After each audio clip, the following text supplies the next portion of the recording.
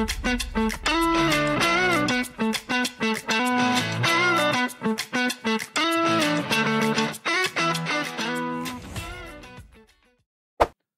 galera, mais uma vez aqui com vocês, né? E hoje para tratar disso aqui, ó, variedades linguísticas. Né?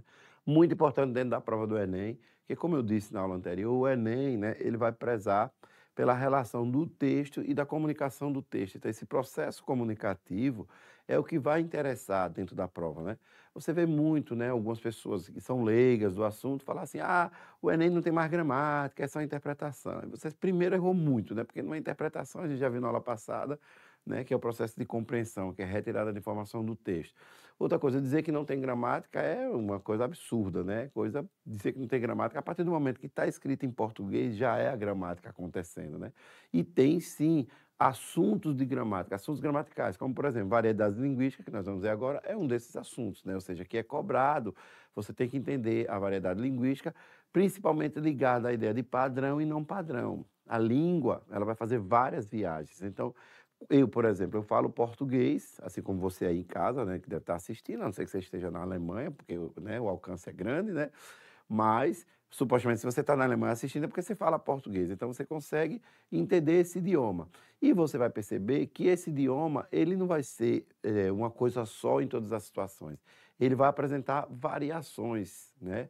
Variações que podem ser de uma situação, de uma circunstância, variação que pode ser entre fala e escrita, Variação que pode ser de idade, né? uma pessoa mais velha, com mais idade, é, fala de uma forma, um vocabulário de uma, que uma pessoa mais nova já usa outro, então tem uma, uma variação etária.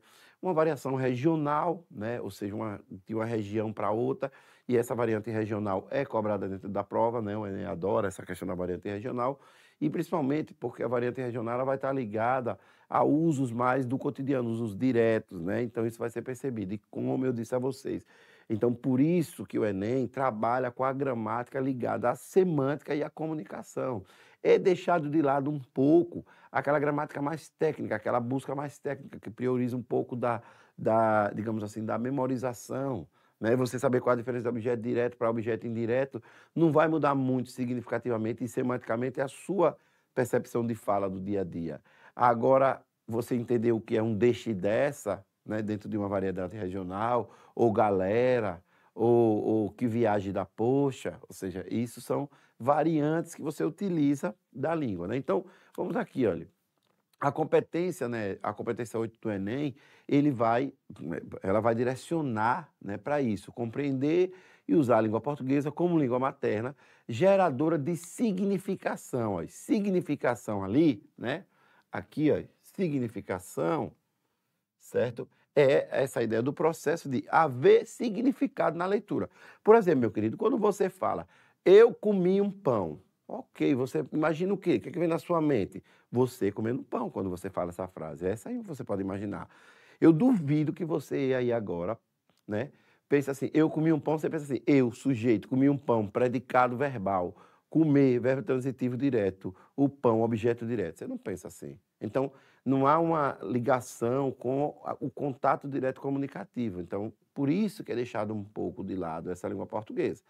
Mas, porém, aqui no Precede a gente estuda toda a matéria, né? Você vai estudar concordância, vai estudar regência, porém sabendo já que ali não é uma prioridade. Mas a gente estuda para manter a ideia de toda do edital, né? Do eixo do edital do Enem.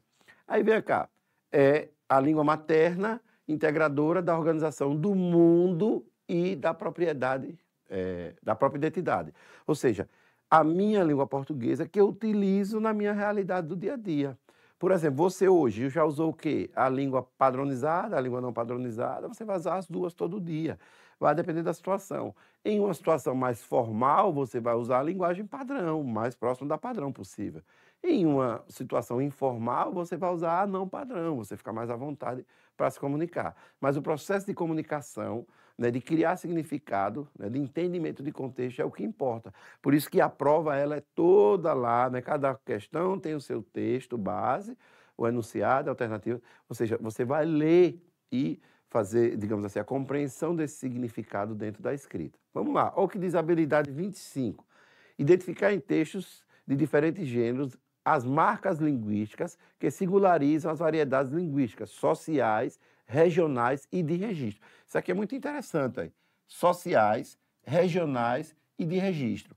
Esses três pontos é que eu vou mandar você prestar atenção. Quais são as variantes sociais? Ou seja, o uso da língua de acordo com a sua colocação social, que aí, né, dentro dessa colocação social, vai incluir o seu contato com a língua mais padrão, ou seja, uma pessoa que tem mais estudo, né, ela vai adquirir mais leitura, mais vocabulário, ou seja, ela vai conseguir modular em um nível um pouco mais alto, mais próximo do padrão que a língua estabelece na gramática, certo? Aí ele fala aqui, ó, regional, é a outra viagem da língua. Então, de um lugar para outro. Nós aqui, sergipanos, né, talvez alguns outros estados do Nordeste também entendam, a gente usa arrudei. Se você, meu amigo, aí é de São Paulo ou do Rio Grande do Sul, talvez você não saiba o que é arrudei. Né? Por quê? É um vocabulário específico do lugar, de uma região, e mais especificamente aqui do estado de Sergipe, a gente usa arrudei. Arrudear é fazer a volta, né? Ou seja, faça, arrudei aí, pô, vem cá. Né? Isso é uma comunicação específica regional. Né? Então, por exemplo, claro que a galera coloca aqui que nós nordestinos, ah, vocês falam igual. Não, nós somos nove estados e cada estado tem a sua variante regional. Então, tem coisas mais próximas? Tem, claro que tem. A nossa fala aqui sergipana, ela se aproxima muito também da fala do Rio Grande do Norte, da Paraíba, tal, mas não é igual, tem variantes lá também. E aí, por exemplo, essa variante regional aqui em Sergipe é específica. Então, como isso pode ser apresentado na prova dentro de alguma composição musical, por exemplo? Eu chego já lá e, por último, de registro, ou seja, situações que vão acontecer e você vai utilizar a língua. Então, por exemplo, eu, como professor, em sala de aula, eu utilizo as duas formas, eu, a padrão e a não padrão, eu vou modulando. Porque se eu trouxer muito para a língua culta padronizada, eu vou deixar o meu aluno para trás, usar termos muito técnicos. Eu também, se eu descer demais, eu posso criar um, um ruído comunicativo com ele, ele não entenda. Né? Por exemplo, imagine que eu, deixa, que eu consiga é, é, imprimir no, na minha aula um ritmo só de gírias, né? então nem todo mundo vai entender. Isso vai criar um ruído. Então, esse de registro, ou seja, de situação que aconteceu, a fala. Se você teve contato com. Quando a primeira coisa que você tem, que você percebe quando você fala com a pessoa do outro estado do Brasil que não o seu, você vai perceber que há um ruído ali, né? Por exemplo, uma diferença básica aqui em Sergipe, a irmã da minha mãe é minha tia né? Talvez no Rio de Janeiro, talvez não, no Rio de Janeiro é minha tia. Né? Às vezes até aqui do lado, em Salvador é tia. Aqui a gente fala tia, dia. Ou seja, essa variante regional vai acontecer muito, né? E aí o grande detalhe, que aí eu quero que você anote, quais são essas variedades linguísticas, são as viagens que a língua faz, né? Então, existem duas viagens que são importantes de você saber. É a viagem que eu chamo viagem de nível, né? Que você ou baixa ou sobe, ou baixa ou sobe. Então, aqui, ou baixa ou sobe, né? Então, quando eu uso assim, é, bom dia, senhores que estão nos assistindo, né, de, é, criando uma percepção da amplitude do processo educativo, eu gostaria de perceber que há uma culminância no processo de comunicação que está atrelada diretamente a um gargalo da educação pública. Hã? Ou seja, padronizei demais, criei um ruído, talvez a comunicação tenha sido prejudicada. Certo? Ou eu falo assim, se ligue, a parada é assim, meu irmão, você tem que entender que a viagem vai ser mais ou menos por aqui, porque senão você vai ficar brisando, se você brisar, você não entende. E aí, a parada é a seguinte, é o dialeto que a gente vai falar e já era, e já era, perdeu. E aí? Pode ter muito ruído, trouxe demais para o não padrão. Então, o qual é a grande questão? Qual é a melhor forma de eu me comunicar? Eu conseguir entender o espaço que eu estou e modular essa minha fala ou essa minha escrita à situação. Então, eu tenho aqui situação formal, linguagem formal, ou falada ou escrita. Situação informal, linguagem informal, falada ou escrita. Quando eu estudei na escola, com Iraguri, eu não aprendi né, a variante escrita informal, não existia. Mas hoje existe. E suas tecnologias estão tá aí, né? Linguagens, códigos e suas tecnologias. Quando você está aqui digitando, quando você está na rede social, você nem, não tem nenhum compromisso com a escrita padrão. Você ali é uma informalidade, então você reduz as palavras, você faz o que você quiser. O importante é a comunicação, beleza? Aí veja aqui a habilidade 26, relacionar variedades linguísticas e situações específicas de uso. Véio, é muito claro aí, tá vendo aí? Situações específicas de uso social. Você está ali, você vai usar. Por exemplo, eu me comunico de acordo com o lugar que eu estou. Ou seja, eu preciso adequar essa ideia. É, tem um gramático chamado Evanildo Bechara que ele diz que nós precisamos ser poliglotas da própria língua. Ou seja, poliglota é o cara que fala várias línguas. Então a gente fala mais de um português, né? Vai depender da situação comunicativa. Tá vendo? É a habilidade 26, ele reconhece isso, beleza? A 27 diz reconhecer os usos da norma padrão, ou seja, eu tenho que saber a padrão da língua portuguesa nas diferentes situações de que, olha que maravilha a palavra comunicação. Comunicação. Então, qual é a ideia? Ele deixa bem claro: nós precisamos voltar a essa gramática, voltar a esse estudo da língua, a linguagem, para o processo de comunicação. Está aqui. É Dixon que está criando história? Não, é aqui. É habilidade, tá, não é nele. Deixa claro isso. Né? Olha o que ele diz na competência. Olhe, significação. Né? Está vendo? Geradora de significação, integradora da organização do mundo e da própria identidade. Então, por exemplo, é, na minha casa, eu e meus irmãos falamos tia e dia. Por quê? Porque nós somos né, criados em Sergipe, temos origem em Alagoas, tá? Então, o nosso, nosso, o nosso modo de falar, ele está ligado diretamente ao contato que a gente tem. Mas eu também falo a variante né, mais culta, quando é necessário. Eu escrevo na forma mais culta, quando necessário, mas também sei escrever na, na, na mais informal, né? Também consigo fazer essa, essa escrita. Aí, veja só, Aqui a definição de Marcos Banho, que é uma grande referência né, da, da, do estudo da língua portuguesa, da linguística, principalmente da sociolinguística. Ele diz: a língua é, portanto, uma atividade social, um trabalho coletivo empreendido por todos os seus falantes, cada vez que ele se põe a interagir por meio de fala ou de escrita. Ou seja, deixou claro isso aí. O que é que acontece? Eu tenho isso aqui, por exemplo, essa viagem de nível. Eu tenho aqui o padrão, certo? E aqui eu tenho o não padrão, certo? Padrão e não padrão. Então, aqui digamos que eu tenho, olha, o 100, meu 100 está horrível, e o zero, certo? Então, eu vou modulando. Então, eu estou em uma aula, então eu vou aqui para 50, para 60. Eu estou trocando uma ideia no barzinho com meus brothers depois do baba, eu estou aqui, ó, em 10, tá? eu vou descendo o nível. Então, essa variante de nível né, é o que leva lá o padrão, culta, e ao não padrão, que é ligado ao coloquial. Toda vez que fala em coloquial, e pode aparecer na prova, é fala, é ligado à fala. Então, coloquialismos né, são usos que a gente faz na fala, principalmente quando a gente quebra a regra padrão. Porque quando eu estou falando, né, e, por exemplo, estou preparado para a festa, ou estou preparado para ver você ser feliz, certo? E quando eu falo assim, estou preparado para ver você feliz. Está vendo essa segunda opção? Eu estou fazendo uso informal. Né? Isso é um coloquialismo, esse pra, eu estou, ao invés de estou. Ou seja, eu quebro com essa ideia. E aí o que é que acontece? A prova do Enem vai querer essa sua percepção. Eles vão trabalhar muito com esses termos: padrão e não padrão, formal e informal, culta e coloquial certo? E aí o que é que acontece? Essa é a variedade 1, né? essa viagem da língua de cima para baixo. A variedade 2, ela vai se aplicar aqui, ó. Seria uma variedade assim, ó. Todas as. Aqui, ó. To, eita, chega. Todas. Cadê? Cadê a menina? Que ninguém quer você aqui, não. Todas as línguas do Brasil. Percebeu? Olha aqui as pessoas, olha aqui aí, sul, centro-oeste, norte, nordeste, sudeste. Ou seja, você vai ver aqui nas figurinhas, né, que vai aí aparecer o quadro para você, você vai ver que tem várias pessoas, né, de diferentes culturas, diferentes formações. E isso vai influenciar na língua. Então, o uso linguístico da variedade regional.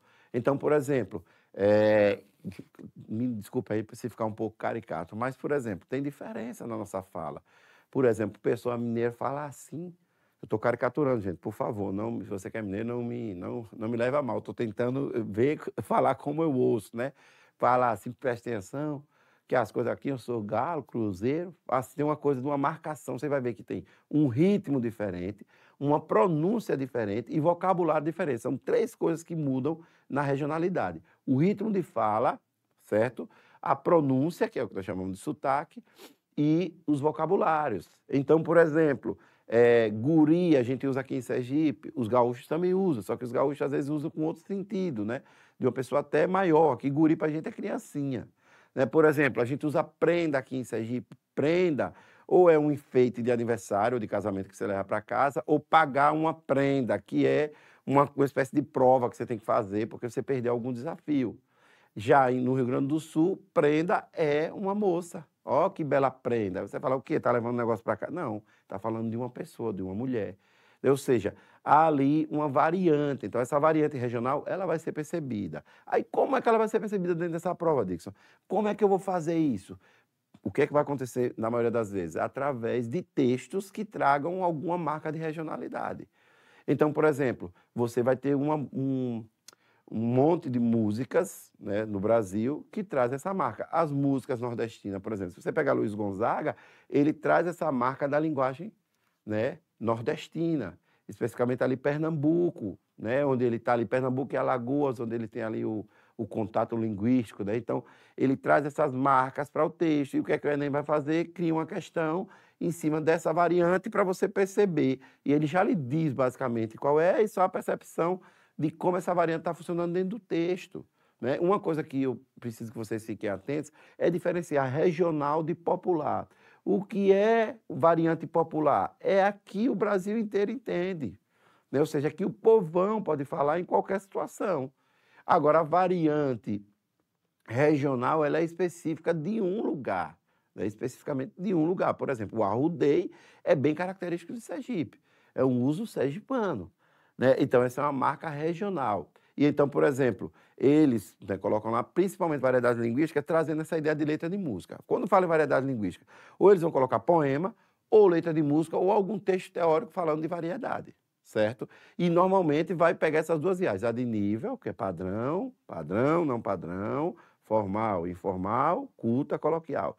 Ou também a variante regional, perceber nessas marcas. Então, quando se tem lá o AI, o, o cara fala assim: eu estava cansado e é, é para chegar cedo em casa. Esse tava e esse pra é uma variante regional ou essa variante pode acontecer em qualquer lugar do Brasil, alguém falando? Ou seja, uma variante de qualquer lugar do Brasil, que está ligada ao coloquialismo. Né? Então, a variante popular, por exemplo, uma gíria que é da variante popular, galera, galera é nacional. Então, é a variante popular, porque todo lugar se tem. Né? Aí muitas vezes eles tentam confundir o aluno nessa perspectiva, bota algo que é regional e coloca como popular, né? para poder criar uma relação ali de tipo, é algo que só se fala no Nordeste. Então, por exemplo, você tem aquele personagem de Maurício de Souza, Chico Bento, então tem tirinhas de Chico Bento. Chico Bento representa o cara lá do, do sítio, né? que fala uma variante, padrão ou não padrão? Normalmente não padrão. Até ele deixa isso claro, o autor Maurício de Souza, na fala dele, ele escreve de forma que quebra com a regra da, da escrita, né, com a regra padrão. Então ele já bota lá com todos os desvios possíveis. Então ali ele está mostrando o coloquialismo da língua. Aí quando ele fala de regionalidade, ele precisaria usar algum termo regional. E normalmente Chico Bento não usa nenhum termo regional. Ele só usa uma variante de forma não padrão informal. Beleza? Vamos aqui, olha. Então você tem variedade padrão é, ou língua padrão, né, que é o maior prestígio social, e ensinado na escola. Querido, quando você vai para a escola, você já sabe português, você já fala, normalmente você já fala, né? Tudo bem que hoje os guris vão mais cedinho, ainda tem sem saber falar direito. Mas, basicamente, o acesso de língua que você tem é em sua casa, é na rua tal. Quando você chega na escola, por que você vai para a escola? Para você aprender a língua padrão, que é ensinada na escola. Porque a não padrão você sabe, que é a língua da, não, da comunicação você sabe. E às vezes você vai lá para a escola e você adquire algumas informações na língua padrão, mas nem todas, e você continua se comunicando. Certo? Então, essa variedade padrão você aprende na escola. É através da ciência que você vai chegar a isso. Já a não padrão é natural seu, é o seu processo comunicativo natural do ser humano. A variedade não padrão são todas as variedades linguísticas diferentes da língua padrão. Porque você sabe que é chamada língua padrão porque é imposta por determinada classe social que diz essa é a forma adequada de falar. E quem vai validar isso? A gramática diz, é isso e já acabou. Né? E as reformas né, na língua vão acontecendo a cada 50, 60 anos, 100 anos, junto assim, as pessoas falam, não, isso aqui não faz mais sentido. Nós começamos com vossa mercê, foi para voz mercê, depois vancê, agora você. Você já é uma variante temporal que vai fazendo essa língua mudar. Então, veja só, o que é a padrão? É a que é escrita formal ou falada em situações formais, a que busca seguir a regra da gramática. A não padrão são todas as outras. Quebrou a regra, é não padrão. Beleza? Aí veja aqui, olha. Tem uns exemplos aqui para vocês, daqui do cara. É, é, eu usei aqui umas tirinhas, uma tirinha e uma chart, para mostrar. Veja só. Borges falou e disse: por que o senhor publicou esse livro e qual foi sua maior motivação? Aí está aqui, ó, o fazedor. Motivação, meu filho, um escritor publica um livro para parar de escrevê-lo. Eu não aguentava mais escrever e reescrever e revisar e acrescentar e suprimir e reescrever e consertar palavrinhas e revisar e reescrever e aí vem aí, os pontos continua falando. Ou seja, aqui é um exemplo de linguagem padrão, ou seja, ele está seguindo as regrinhas, está falando dessa forma e subentende-se ali pelo contexto um escritor, então ele tem um contato com a língua, ele trabalha com a língua, ele vai ter um, uma maior facilidade de padronizar essa língua. Já aqui, nesse exemplo 2, você tem uma criança de uma idade né, mediana falando para a professora. Olha, observe como está a professora, com a interrogação na cabeça, e o menino fala: Aí, professora, eu e os brother, tudo, tipo assim, não estamos achando maneiro as paradinhas do Nil português. Ou seja, ele usou aqui um monte de gíria, ele usou coloquialismo e tal, e a professora fica sem entender, né? Não sei que professora é essa, professora é essa que não entendeu, mas ela não entendeu. Ela está ali, hã? Não entendeu. Esse segundo caso, o uso da não padrão, ou seja, a padrão é a que tem regra, todas as outras variantes não padrão, beleza? Aí veja só, o que eu quero que você entenda é o seguinte, Dixon, o que é que eu preciso saber de variedades. Quais são as variedades de grande importância para a prova? Variedade de nível, então eu vou do padrão, não padrão, formal, informal, culto, coloquial, certo? Eu vou modulando. Diga se eu posso ter uma fala misturando um pouquinho de padrão com não padrão? Posso, isso aí é um nível mediano. Eu vou dominando a língua e aí, a depender da situação, eu vou utilizando. Então, essa viagem é muito importante, vai cair na sua prova. E em algum momento, então, você lembrar que a língua padrão ela é com regras, tanto na escrita quanto na fala. Ela tem regras a serem seguidas. E a não padrão, ela não tem regra, é só o processo comunicativo, beleza? Como a gente é aqui de Sergipe, gente, e o resto do Brasil quiser aprender, a gente vai dizer aqui umas gírias né, de uso né, dos sergipanos. Por exemplo, aqui eu tenho as gírias né, ó, do Brasil inteiro, ó, tá ligado assim? Várias gírias, né? Ó. Por exemplo, chapa, né, pagamico. Acabou popularizando esse pagamico, mas não é uma coisa muito nossa. Isso aqui, Sergipano fala, massa. Carango é mais paulista, né? bicho, eu acho que também é paulista, tipo assim, esse tipo assim impregnou também por aqui, mas não é uma coisa muito nossa, não. É, um brasa mora, não sei nem o que é isso, tá vendo aí? Bode, ficar de bode, talvez a gente entenda. Beleza, isso aqui já é uma variante com a escrita do, das redes sociais. Azará, a gente não usa esse Sergipe, azará, que seria, acho que é coisa de gira carioca, né? Azará seria tentar convencer uma moça a namorar com você, enfim, coisa parecida. Né? Aí nós vamos aqui, olha as gírias sergipanas, elas estão aqui. Inclusive aqui em Sergipe tem o um museu da gente sergipana e lá você vai encontrar as variantes né, da fala sergipana. Pelo amor de Deus, usem a nossa fala, é a sua marca linguística, né? Porque tem gente que fala três minutos com uma pessoa de outro estado e já vira totalmente sotaque, então, pelo amor de Deus. Então a galera que é sergipana se identifica aqui, ó. Veja, a gente chama o jeito que chama o outro de desdobreiro é jeito que é. Então, esse termo aqui, desdobreiro, aqui pra gente é uma pessoa que quer lhe enganar, né? Gosta de enganar, né? Desdobreiro. Ah, rapaz, vamos lá para não Não, não vou não, porque teve não sei o que. Você está desdobrando, você está querendo enrolar, é um enrolado, certo? Esse ou pega, essa interjeição que a gente usa, né? Ou pega, ou seja, de susto, né? Bem antigo já, quase ninguém usa mais os novinhos, né? Vote, vote a gente usa muito, né? Vote você é um espanto também, né? Aconteceu um cara aqui de bicicleta do seu lado, você disse, vou te, que peste é isso? Você já viu um peste é isso, né? Enxame, enxame a gente usa. Enxame, gente, é alarde, né? Muito. Deixe de enxame, ou seja, deixe de zoado, deixe. Ó, zoado, já usei zoado. Né? Deixe de, de. Digamos que a pessoa está gritando, ah, você, não sei o que, não sei o que. Meu irmão, deixe de enxame, ou seja, faça silêncio. Né? E às vezes tem uma variante que a gente chama a pessoa, aquele bicho, bicho, né? Aquele bicho é enxamista. Enxamista, ou seja, faz muito enxame, faz muita é, algazarra, né? Sei lá. E aí vem o marrepare. Marrepare é uma junção, né? Isso acontece na literatura, né? E João Guimarães Rosa, o Grande Sertão Veredas, ele faz isso.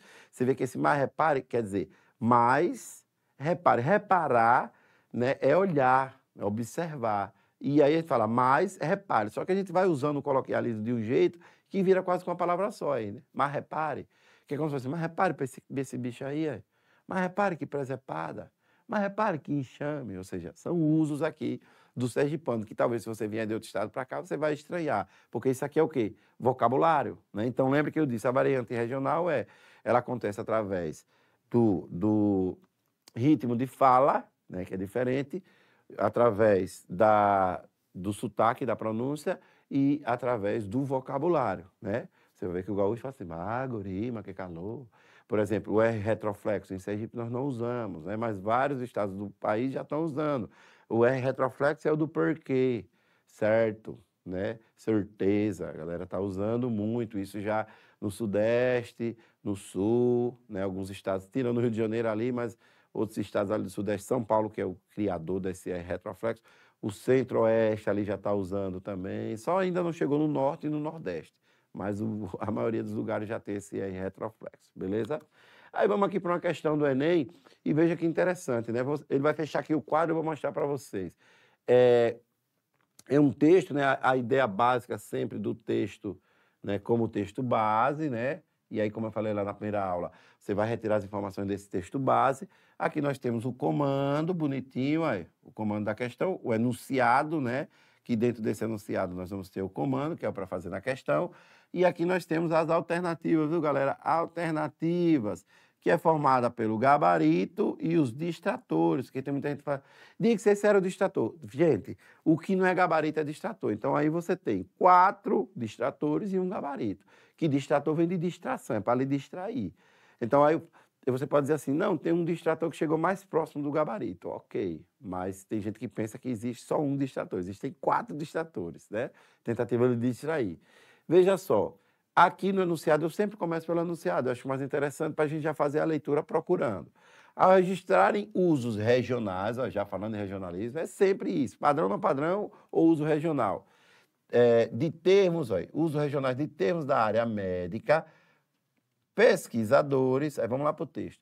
Um grupo de pesquisadores da Universidade Federal do Ceará desenvolveu um dicionário para traduzir sintomas de doenças da linguagem popular para os termos médicos. Defruço, chanha, piloura, por exemplo, podem ser termos conhecidos para muitos, mas durante uma consulta médica, o desconhecimento pode significar um diagnóstico errado. O cara falando lá para o médico, né? Isso é um registro histórico e pode ser muito útil para estudos dessas comunidades, na abordagem médica delas.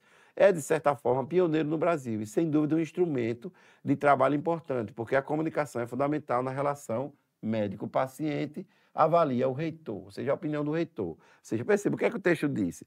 Que é, pesquisadores reuniram termos populares que o povo falava, ah, tô, por exemplo, a gente diz, quando aqui é meio na titela, né?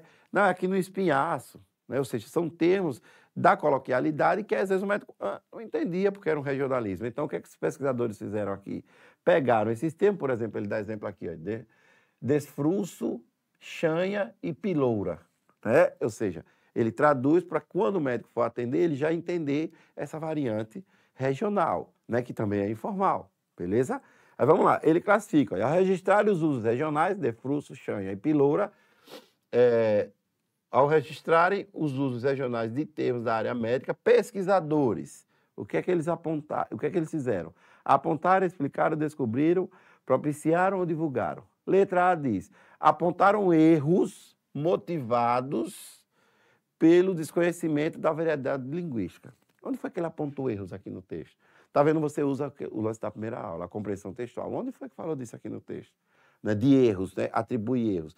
O que o texto diz é que eles pegaram uma variante falada e transformaram ali, fizeram uma, uma pesquisa e a partir dessa pesquisa desenvolveram um dicionário para que o médico saiba na hora o que o cara está falando, para gerar comunicação. Bem legal, né?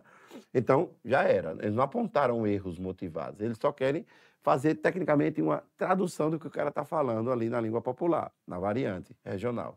Explicaram problemas provocados pela incapacidade de, de, comunicação. Em nenhum momento eles explicaram o problema, ele, ele só mostrou que foi criado esses, esse dicionário para facilitar a comunicação, para não gerar problema na comunicação entre médico e o paciente, beleza? C. Descobriram novos sintomas de doenças existentes na comunidade. Que viagem foi essa? É uma totalmente nada a ver do texto, né? Um cara muito desatento para marcar isso. Perceba, é muito interessante perceber isso, que mesmo você trabalhando um assunto, ou seja, o seu conhecimento prévio de variedades linguísticas, você vai utilizar aquela primeira aula, a ideia da compreensão textual, do que está presente no texto realmente. A letra D diz: propiciam né? Então, os, ao registrar os usos regionais de termos da área médica, pesquisadores propiciaram melhor compreensão dos sintomas dos pacientes. Então, propiciaram melhor compreensão dos sintomas dos pacientes, né? para que o médico entenda melhor o que ele está falando. Beleza. E a, essa pode ser. A D, divulgaram um novo rol de doenças. Gente, não foi que ele falou aí do rol de doenças. Isso tem nada a ver com o texto, então eu já descarto aqui tranquilamente o gabarito está aqui para a gente claramente, que é a letra D, que ela mostra justamente o que está no texto. Veja, é uma questão de variedade? É, ele falou, é variedade regional. Só que ele trouxe basicamente para uma leitura compreensiva. Fez a leitura compreensiva, resolveu a questão sem nenhum problema. Beleza? Então é ficar ligado nisso.